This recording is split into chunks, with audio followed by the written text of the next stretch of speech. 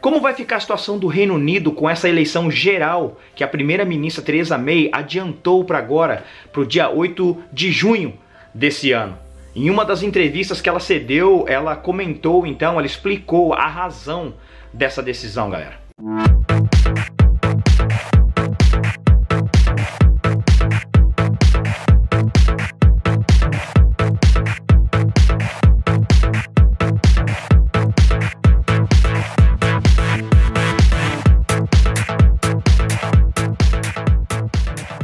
E aí pessoal, tudo bem com vocês? Bom, bater um papo aqui rapidinho sobre essa eleição geral que a primeira-ministra adiantou para o dia 8 de junho agora.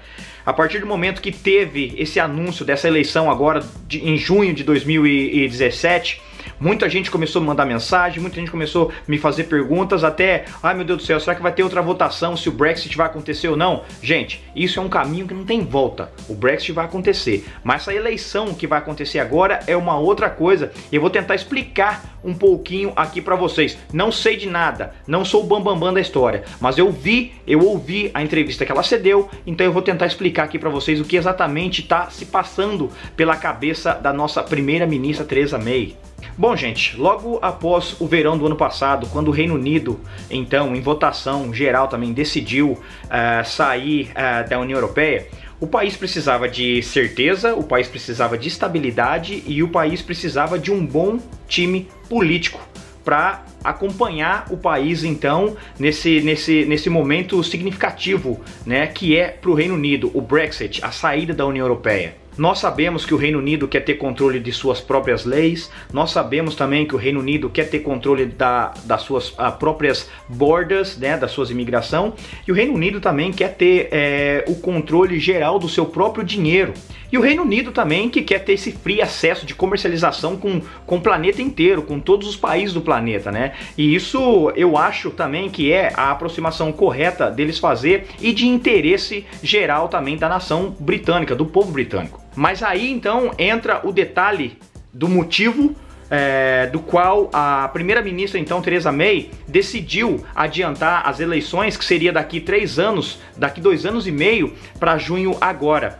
Porque acontece que as outras partes políticas, ao invés de se unirem é, lá dentro daquele parlamento por esse momento significativo uh, que o Reino Unido está atravessando, essa saída, esse desligamento da União Europeia, em vez de ele se unir e remar o, o, o barco na mesma direção como um todo, eles ficam de lenga-lenga, eles ficam de, de, de, de, de probleminha, eles ficam de, de, de, de fuxico, eles ficam de, de querer atrapalhar o trabalho que a primeira-ministra está querendo fazer, está querendo desenvolver. O povo britânico está unido, o país como um todo está unido, mas os políticos lá dentro do parlamento não se unem entendeu? E com essas propagandas de, de eleição daqui dois anos e meio, é o Corbyn falando disso, falando daquilo, é a primeira-ministra da Escócia falando isso, falando aquilo, e tudo que a, que a primeira-ministra Theresa May tenta engatilhar, tenta iniciar para fazer com que o país reme na direção correta, eles falam que vão votar contra, entendeu? Ah, eu não, eu não vou aceitar isso, se você colocar essa lei eu vou votar contra, se eu colocar essa outra eu vou votar contra. Então tá uma zona, entendeu? Aí você imagina é, o país na bagunça que tá, em vez de todo mundo se unir, como eu já falei, para dar um, um bem-estar para o povo britânico, para dar a esse povo uma qualidade de vida melhor, uma esperança bacana, eles estão se matando lá dentro. Então eu acho que a primeira ministra Theresa May teve bolas. Ela teve corrones. Deixa de, de ser 2020, vamos fazer agora. Por quê? Ela ganhando as eleições agora é, do dia 8 de junho, ela vai tirar é, os problemas do caminho dela, entendeu? Então, já todo mundo vai ter direito de disputar a eleição, ganha quem, é, quem for o melhor, quem for escolhido uh, pelo povo britânico. É claro, eu tenho consciência disso, que por ela tá tirando o Reino Unido da União Europeia nesse momento agora, ela que já tá, tá fazendo tudo, eu tenho certeza que o povo britânico é, vai querer que ela continue fazendo esse trabalho, né? Porque não vai jogar na mão do Corbyn de jeito maneiro ou de um outro que ainda não sabe o que realmente está acontecendo. O país pode, ó, fazer assim ao invés de continuar steady ou até mesmo alavancar. Vocês não concordam? Então, tendo eleição, ela vencendo a eleição, o que, que ela vai fazer? Ó, é o seguinte, ganhei a eleição. Então, por favor, agora, vamos se unir? Ou, por favor, agora, saia do meu caminho. Deixa eu trabalhar em paz. Então, com essas eleições, ela vai tirar todas as porcarias do meio do caminho dela e vai seguir em frente e dar para nós brasileiros, para nós britânicos que vivemos aqui, uma esperança melhor de viver num país tranquilo e, e melhor, entendeu? Que é o que as outras partes políticas, os opostos, não estão deixando ela fazer.